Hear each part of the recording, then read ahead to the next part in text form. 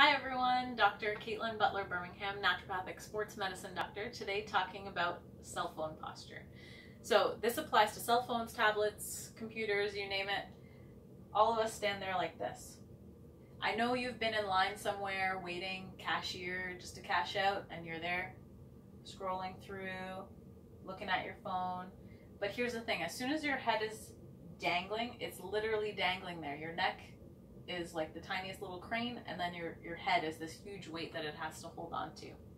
So because we do this all day, most days, we need to find ways to mitigate that posture because essentially what we're doing is the longer you stay with your head down like that, the more likely it is that you are actually going to start seeing changes in how your bone structure, how your muscles function.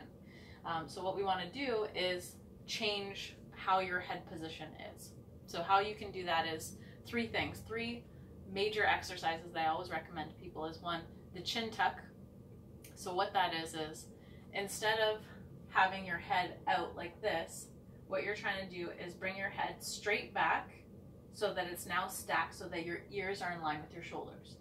Now, this only works if you first fix your shoulder position because most of us are sitting at computers like this you want to fix your shoulder position, look straight ahead, pull the head back, and stack it.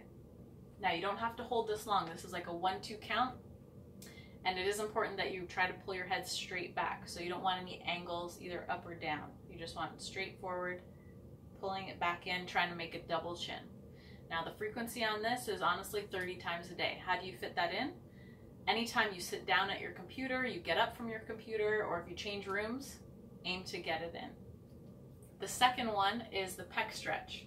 So the pec stretch, what you want to do is because the pec inserts here and is all along your um, clavicle as well as your sternum, this whole sweeping muscle, you want to open that up so that instead of being like this when you're on your computer, everything is opened up, which will allow your shoulders to be back and down. Now the way to do that is to find a wall or a corner of a wall, be in a lunge position, and move so that you're pushing your shoulder essentially away from your chest. So if you're like the walls here, you want to try to open that space up. And again, that opens up the chest, which allows your shoulders to be back and down. The third exercise is the row. So you can do this with equipment or without. Um, TheraBands are very popular for this. And essentially what you're going to do is arms out in front, pull in, and squeeze your shoulder blades together. So your shoulders are back and down, arms are out front, and then you want to pull in, squeeze the shoulder blades together. And just hold one, two count. Now you can treat this like the chin tuck, do it 30 times, just one-offs, or you can group them together three sets of 10 throughout the day. Um, as far as the pec stretch goes, always hold a stretch 45 seconds when it's for therapeutic use.